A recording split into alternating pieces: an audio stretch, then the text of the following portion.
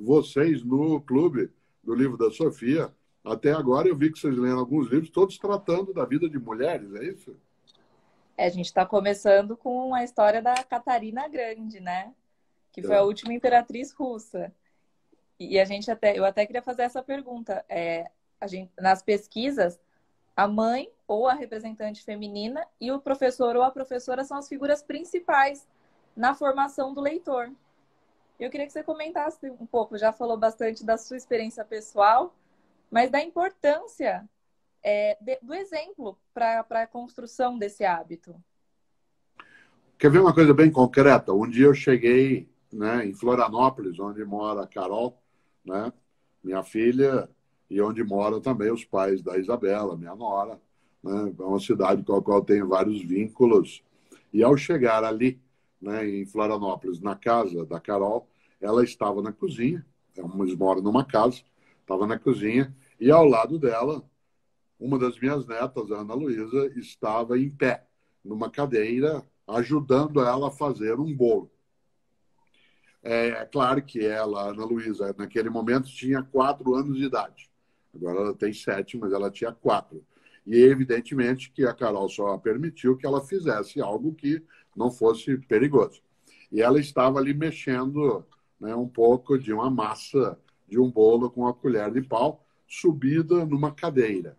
Ora, uma criança que é levada a olhar a atividade culinária, ou atividade de marcenaria, ou atividade de cuidar de plantas, né, como sendo algo que faz parte do cuidar de si e daquilo que está fora dela, ela vai pouco a pouco incorporando, introjetando, vai pouco a pouco assimilando aquilo que os adultos fazem à sua volta como sendo algo que não é negativo. Evidentemente que o adulto pode passar maus hábitos. Evidentemente que o adulto pode influenciar também né, de modo danoso. Há uma certa capacidade mais forte em, no que se refere à leitura de que, especialmente mulheres, o universo feminino, é que está à volta da criança e na escola também.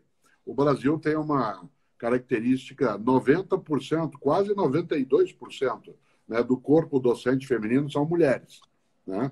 Isto é, de cada 100 pessoas que estão ligadas à docência no Brasil, 90, 91 são mulheres. E, portanto, é um número mais reduzido. Você mesma, na tua escolaridade, né, tal como eu, encontrou homens em sala de aula, basicamente no final do antigo ginásio e depois né, no ensino médio. Né? É muito raro, claro, na faculdade mais tarde. Mas, ainda assim, é uma atividade essencialmente feminina. E, assim como levar a criança para ajudar a cozinhar, a lavar um tomate, dependendo da idade, né, a ser capaz de separar o que precisa ser separado, também na leitura né? É a mesma coisa. Isto é, se a criança vê os pais né, com os hábitos nessa direção, ela acaba também incorporando essa condição. Ao ver a estante que está aí agora, né, atrás de você, eu me lembrei, quando meus três filhos cresceram, né, estavam crescendo já na fase já alfabetizada e indo mais, né, havia, como há até hoje, né, na casa em que se vivia, uma grande estante que ocupava todo o corredor né? e ela ia do chão até o teto, tinha dos dois lados. O fato de se viver com livros que estavam pelas mesas, estavam né, pelos espaldares da cama, naquilo que é a mesinha de apoio lateral à cama, né? sempre se teve em casa uma luminária né, ao lado de cada cama ou grudada em cada cama, inclusive até para as crianças era uma de garra, era uma que você prendia nela uma garra e grudava né, na madeira da cama, para que se pudesse ter o hábito, inclusive, de ler um pouco antes de dormir. Né? Evidentemente que cada pessoa escolherá, depois da sua trajetória, cada um dos meus três filhos, seja o André, a Carol ou o Pedro, cada um deles tem a sua preferência né, em relação às leituras. Mas ninguém, ninguém deixou né, de ter aquilo como sendo um cenário, né, um cenário. E esse cenário ele facilita e muito né, essa condição. Eu conheço, Devito, dezenas e dezenas, porque eu fui secretário de Educação na capital paulista, por isso ia para as áreas mais difíceis também de vida na cidade, onde é tudo mais longe, onde a pobreza é mais funda, mas conheci muitas e muitas mães e vários pais que gostavam de ter os livros para que o filho ou a filha aprendesse.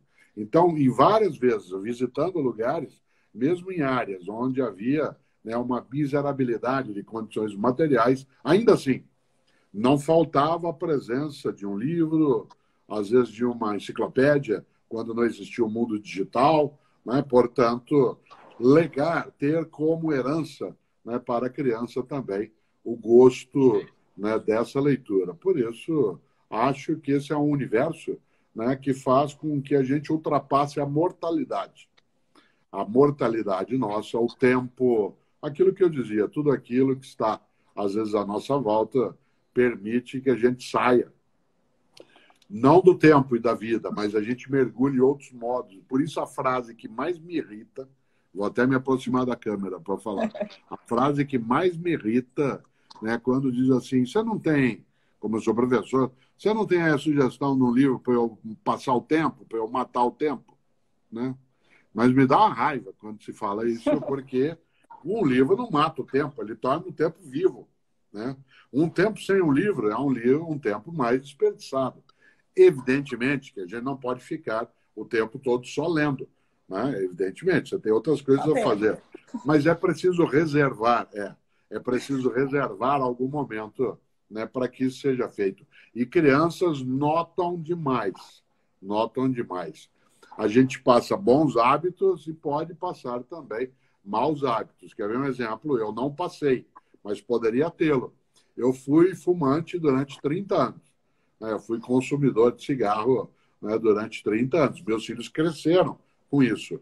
Nenhum deles se aproxima desse tipo de vício que alguns chamam de hábito. No meu caso, era vício, não era hábito. Eu parei já faz 20 anos, mas eles cresceram com essa condição. E a recusa deles era tamanha nessa área que eu gosto de contar isso de vez em quando que eu podia pedir para qualquer um dos três ir até a banca de jornal da esquina, comprar qualquer coisa, exceto cigarro.